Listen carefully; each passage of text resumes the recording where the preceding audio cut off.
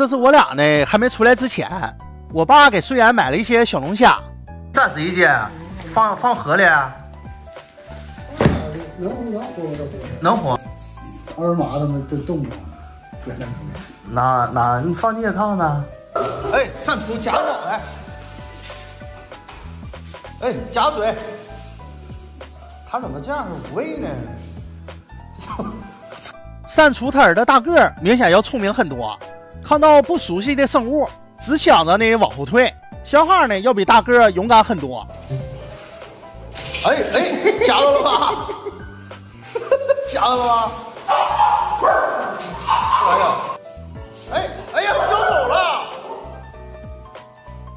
能吃吗？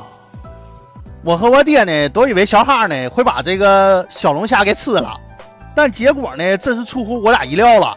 小哈对待他呢，就如同对待自己的亲生骨肉，所有的动作和行为都小心翼翼的。你很小心，看见没？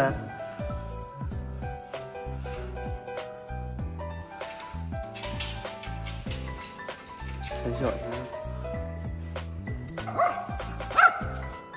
你看他老喜欢了，你看他也就你吧。哎呦，我站住不动了。后来呢，我又挑选了一位精英，去会会咱家的重量级狗明星。当战神小龙虾进入场地，张牙舞爪的摆出了战斗姿势。这个时候呢，咱家的狗明星健康码对他呢索然无味，只是在这块喝着水。